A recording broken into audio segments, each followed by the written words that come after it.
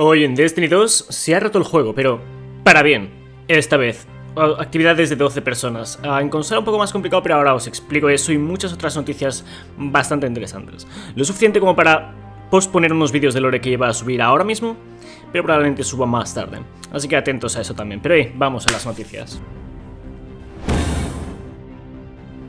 Empezamos con esto que no es noticia, pero creo que mucha gente no lo sabe si sois nuevos, y es que en 2009, cuando lanzaron Halo ODST, había un easter egg dentro de este que nos deseaba que Destiny iba a ser lanzado. Destiny Waits. sé que muchos de los veteranos lo sabéis, así que a otra cosa, pero hey, puntazo para los que no lo sabían. Ahora, mucha gente comentándome el hecho de que Luke Smith ha desaparecido, ¿vale? Porque ha puesto... Bueno, la imagen en negro del perfil de Luke, la que veis aquí, ha estado en negro desde hace la vida. No sé si también ha oscurecido recientemente el banner. Lo que sí ha hecho recientemente hace, me parece que una semana. No es tan tan noticia. Igual se han fijado porque lanzaron el estado del juego y como no lo hizo Luke Smith, igual se fijaron más en ello. Pero sí, como veis, ha borrado todos sus tweets, ¿vale? Y bueno, como, os bueno, como habréis entendido por el último estado del juego, Luke Smith ya no parece tener tanto que ver en cuanto a las decisiones que se están tomando. Bueno, es un tema ah, en el que nos podríamos alargar bastante, ¿vale? Hablando un poco sobre cómo ha ido el desarrollo del equipo de Destiny, ¿vale? Pero sí, eh, no es que haya desaparecido, obviamente. De hecho, este tweet aquí está, ¿vale? Del 19 de febrero, también retuiteó el estado del juego. Y bueno, parece que ya no tiene tanto que ver con el desarrollo de Destiny. Aún me parece que quedan, ah, bueno, quedaría ver eh, algunas palabras oficiales por parte suya y del equipo sobre cuál es el estado del equipo en sí. Pero sí, respecto a eso, ha desaparecido relativamente. Ahora, lo que muchos os interesaba, uh, sí, han logrado, aquí lo veis, hacer un glitch, o sea, encontrar el glitch, encontrar el modo de crear actividades con hasta 12 personas. O sea, ahí veis a 12 guardianes bajar a Tanix impresionantemente rápido, porque es que son el doble, tiempo y ni siquiera llega a moverse de ahí.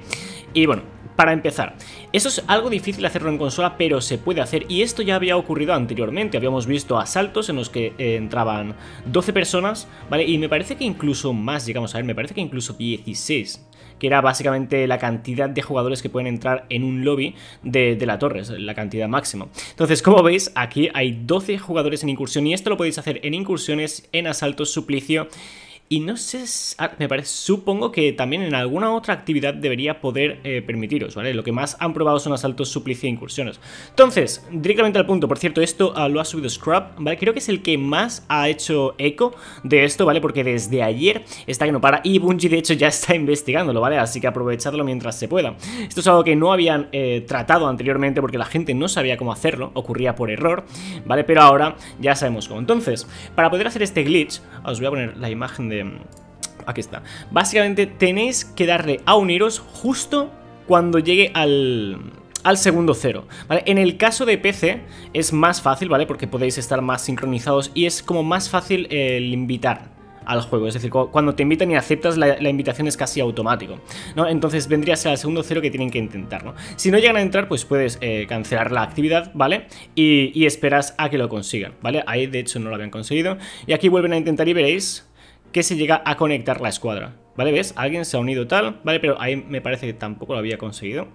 O quizás sí.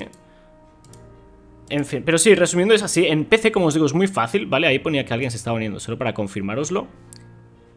Y en consola básicamente hay que hacer lo mismo, ¿vale? Pero a los dos segundos, ahí lo veis, alguien se está uniendo a tu equipo. O sea que esto funciona bastante bien en PC Y le están sacando mucho partido y Bungie está que no sabe qué hace ahora mismo con esto. Pero, resumiendo, en consola tendríais que entrar cuando esté llegando al segundo cero. O sea, perdón, al segundo 2 Porque es más o menos lo que tarda en aceptar la invitación. O sea, cuando esté aquí es cuando debería aceptar la invitación y entrar pues prácticamente al segundo cero es cuando entraría. Como os digo, en consola es un poquitín más complicado, pero poder se puede hacer y es muy divertido, ¿vale? O sea, es muy divertido. Así que si queréis hacerlo, ya sabemos por fin cómo se puede hacer. Y de nuevo tendréis link al, canal de Scrub, a este vídeo abajo en la descripción si queréis ver el vídeo completo, ¿vale? De cómo hacen esta incursión con 12 jugadores. Dicho eso, a otra noticia.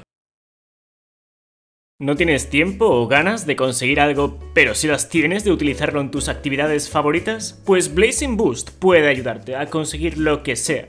Exóticos como Divinity, Ojos del Mañana, completar la cripta de la piedra profunda o lo que sea. Blazing Boost cuenta con una puntuación de 5 de 5 en Trustcore con más de 11.000 reviews positivas. He leído varias de ellas, muchos de vosotros me lo habéis comentado, estáis contentos con ello, los que lo habéis probado, porque es que lo hacen bien, ¿vale? Así que si es algo que os interesa, realmente este es el que más os recomiendo. Si os interesa tenéis un link abajo en la descripción y de hecho con el link tenéis un descuento de 2 euros en las pruebas de Osiris, así que there you go, que lo disfrutes. Dicho eso, a otra noticia.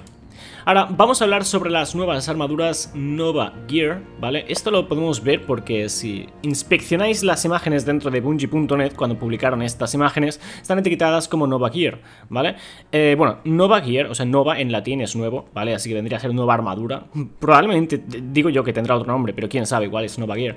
De cualquier modo, la comunidad ha estado eh, investigando esta armadura al detalle. Aparentemente, y uno de los detalles más graciosos de esto es que, si os fijáis, tienen varios em, elementos dentro de la armadura, ¿vale? Aquí está, me parece que este era el de sal, ¿vale? Y ahí estaba la gracia, o este o este era el de sal, y básicamente ahí estaba la gracia, ¿sabes? De Titans are salty, ¿vale? Sobre todo sus cargas de hombro, y es en plan, no sé si lo han hecho por hacer, ¿sabes? En plan, por hacer la joke, ¿sabes? De de que los titanes son salty, sobre todo sus cargas de hombro, pero ahí está eso. Al margen de eso, a cosas que podemos intuir. Eh, esto de aquí, si os fijáis en el pecho del, del hechicero, voy a ampliarlo un poco más, a ver si puedo mostraroslo mejor.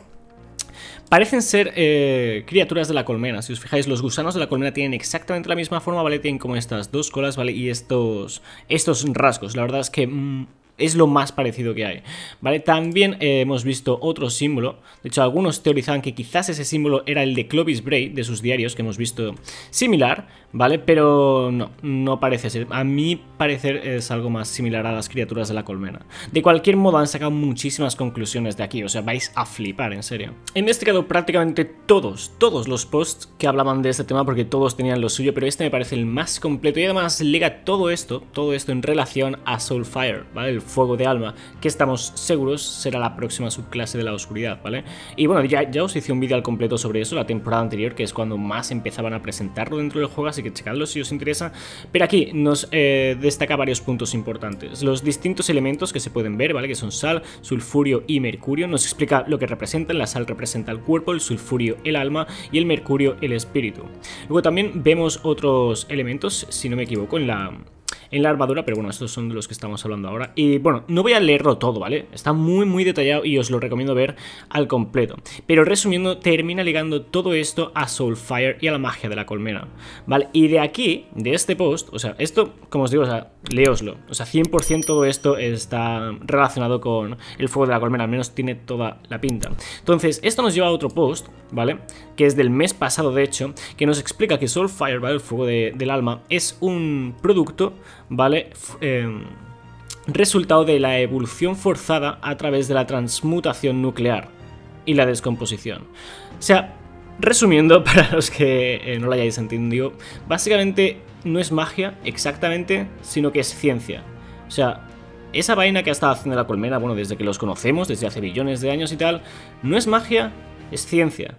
Y aquí en este post nos explica exactamente lo que está ocurriendo. Y es muy interesante, esto ya es ciencia, como os digo, ¿vale? Aquí nos estaríamos yendo mucho de, de lore del juego, ¿vale? Esto, esto, es realmente complicado para la gente que estudia ciencia. Cualquier modo, eh, si sabéis inglés, os recomiendo echarle un vistazo. Que por cierto también menciona los nuevos guanteletes necróticos, ¿vale? Menciona Espino, ¿vale? Y todo lo que tiene que ver con Soulfire y este y este elemento. Y como os digo, está muy interesante. También hice un vídeo hablando sobre el elemento en particular, pero resumiendo, nos da a entender que, sí, que es una referencia a la magia de la colmena. O sea, bueno, magia, ciencia de la colmena, podríamos decir ahora. Ahora, también están investigando esta especie de código Morse que veis en la armadura y están investigando mucho más, pero por ahora eso es lo más relevante, diría yo, que hemos sacado. Porque como os digo, o sea, podéis eh, pararos a hablar muchísimo sobre temas de ciencias y los elementos que se pueden ver y eso, pero en cuanto a lo que podemos esperar, ¿vale? Dentro del juego y conclusiones a las que podemos llegar, que nos interesen a todos, eso parece ser lo más importante.